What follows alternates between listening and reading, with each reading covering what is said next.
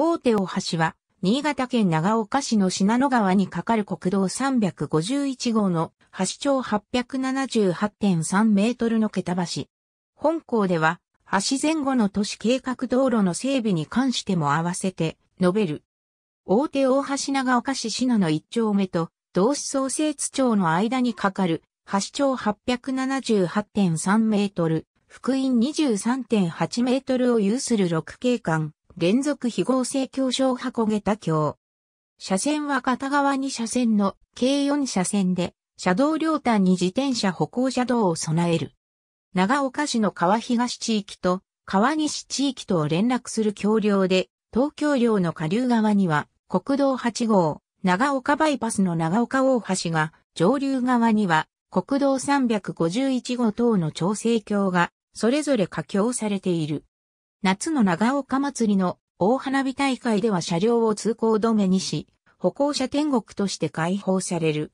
橋梁上には花火見物の観客が数多く訪れ、非常に混雑する。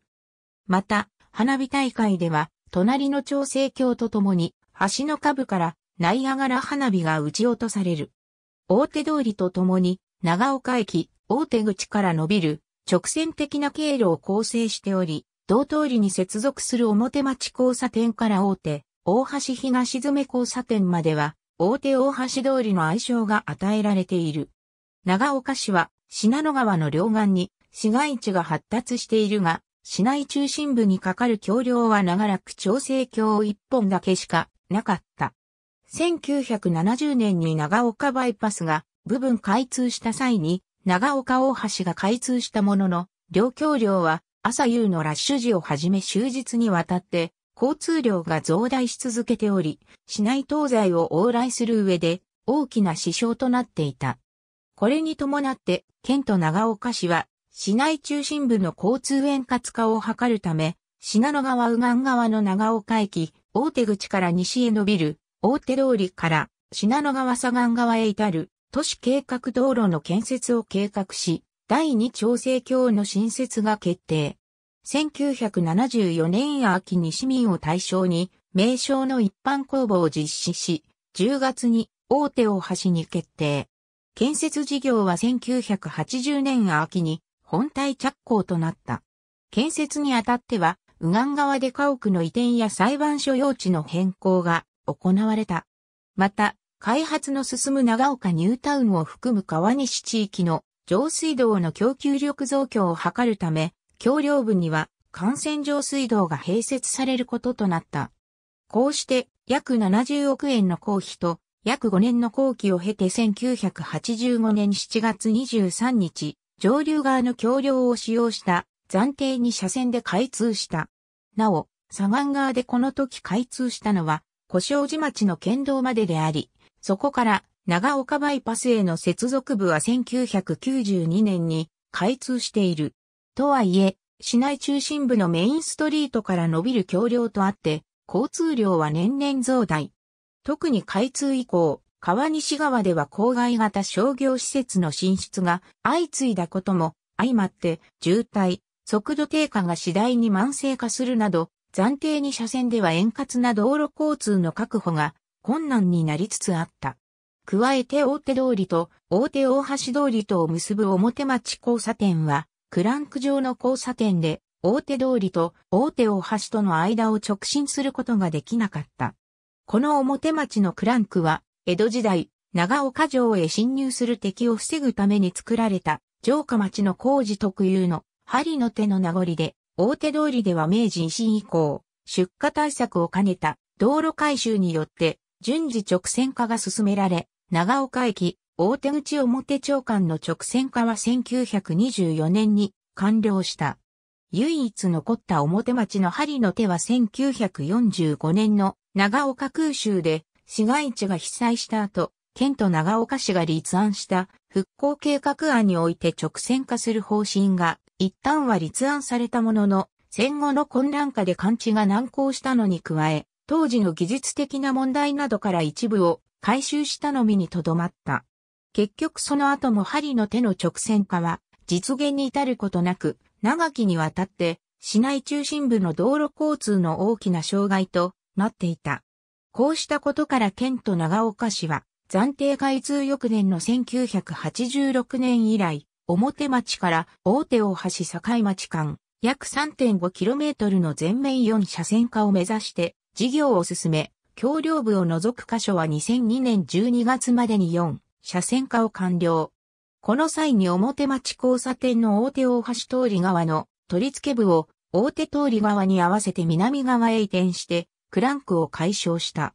これにより大手通りと大手大橋通りが直線化され、交差点周辺の交通円滑化が図られた。また、大手大橋西詰側の取り付け部でも交差点の改修が行われ、2004年7月28日には定時路だった大手大橋西詰交差点を十字路とし、長岡市陸上競技場北側を迂回して、信濃川左岸、千秋ヶ原方面へ至る指導と直結するなど改良が図られた。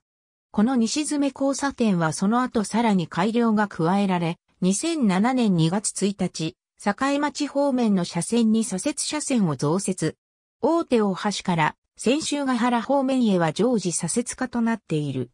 その後大手大橋の4車線化についても2003年から建設が進められ、途中2004年10月23日の新潟県中越地震、2007年7月16日の新潟県中越沖地震による中断を経つつも2008年12月、下流側の新橋梁が竣工した。代わって上流側の既存橋梁で耐震補強などの改修を実施するため、2009年1月6日から既存橋梁を通行止めとした上で、新橋梁による暫定に車線の供用を開始した。前述の2度の大規模地震を受けて施行されることになった既存橋梁の耐震補強では、橋脚と桁を連結する師匠と呼ばれる部材を旧来の固定式のものからよりエネルギー吸収性能が高いゴム製の免震式のものに交換する工事を実施し、これによって震度7クラスの地震にも耐久できるよう改善された。こうした過程を経て、大手大橋は、既存橋梁改修完了後の同年9月8日17時から4車線での本橋用を開始した。長岡市では、翌9月9日に、ときめき、新潟国体水泳競技の開催を控えており、市内中心部の渋滞解消が懸案であったが、後期ギリギリで開幕に間に合った。引き続き既存橋梁の歩道部の改修を行い、同年度末の2010年春に全面竣工した。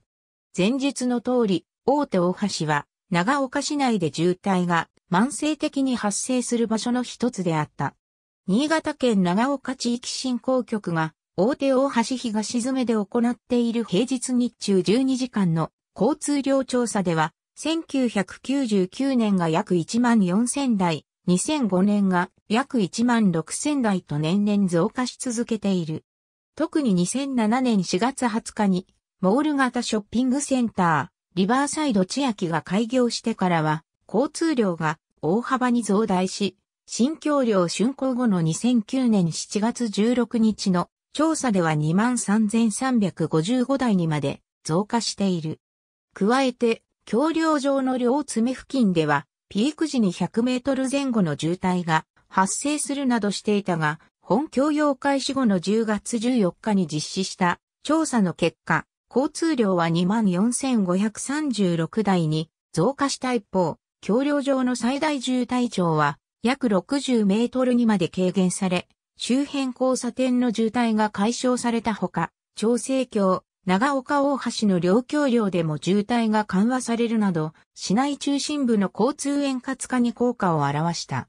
長岡市では4車線化の効果について、川東地域と川西地域の双方にメリットが大きい。川西の郊外店舗に集まる買い物客が川東の既存商店街に行きやすくなるなど、相乗効果が期待できるし、市内中心部の再開発事業と合わせて地域の一体的な活性化が期待できると展望を明らかにしている。ありがとうございます。